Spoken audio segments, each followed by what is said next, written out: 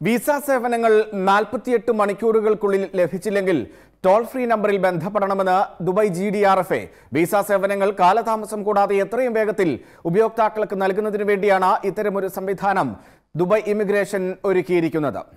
Visa സേവനങ്ങൾക്കായി അപേക്ഷ സമർപ്പിച്ച് നാൽപ്പത്തിയെട്ട് മണിക്കൂർ കഴിഞ്ഞാൽ എട്ട് പൂജ്യം പൂജ്യം അഞ്ച് ഒന്ന് ഒന്ന് ഒന്ന് എന്ന നമ്പറിൽ ബന്ധപ്പെടണമെന്നാണ് ദുബായ് ഇമിഗ്രേഷൻ വ്യക്തമാക്കുന്നത്. ദുബായ് ഇമിഗ്രേഷന്റെ സേവന വിഭാഗമായ അമറാണ് ഉപഭോക്താക്കൾക്ക് സഹായം നൽകുക. ദുബായിലെ വിസ സേവനങ്ങൾ കാലതാമസം വരുത്താതെ എത്രയും വേഗത്തിൽ ഉപയോക്താക്കളിലേക്ക് എത്തിക്കുന്നതിന് വേണ്ടിയാണ് ഇത്തരമൊരു സംവിധാനം G D R F A മുന്നോട്ട് വയ്ക്കുന്നത് ഇത് സംബന്ധിച്ച ക്യാമ്പയിനും ദുബായ് ഇമിഗ്രേഷൻ ആരംഭിച്ചിട്ടുണ്ട്.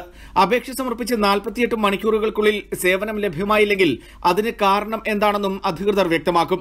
വിസ നടപടികൾക്ക് അപേക്ഷയോടൊപ്പം ആവശ്യമായ രേഖകൾ സമർപ്പിക്കുന്നവർക്ക് കാലതാമസം കൂടാതെ നടപടികൾ പൂർത്തിയാക്കി നൽകുന്നുണ്ടെന്ന് ദുബായ് ഇമിഗ്രേഷൻ അറിയിച്ചു. എന്നാൽ എന്തെങ്കിലും തരത്തിൽ വിസ നടപടിക്രമങ്ങളിൽ തടസ്സം നേരിട്ടാൽ വകുപ്പുമായി ബന്ധപ്പെടുന്നതിന് സ്മാർട്ട് സംവിധാനങ്ങളും ഉണ്ടെന്ന് ജി ഡി ആർ എഫ് മേധാവി major general Mohammed Ahmed Al Marri അറിയിച്ചു. വിവരങ്ങൾക്ക് G D R F website വഴിയും ബന്ധപ്പെടാവുന്നതാണ്. സമൂഹമാധ്യമങ്ങൾ വഴിയും വിവരങ്ങൾ ലഭിക്കുമെന്ന് ജി വ്യക്തമാക്കുന്നു. എൻ ദുബായ്.